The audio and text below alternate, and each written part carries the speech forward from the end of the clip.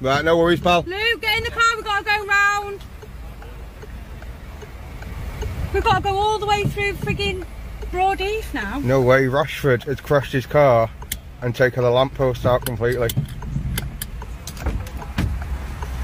Marcus Rashford's car and Bruno Fernandes is sat in that car there, in that Bentley.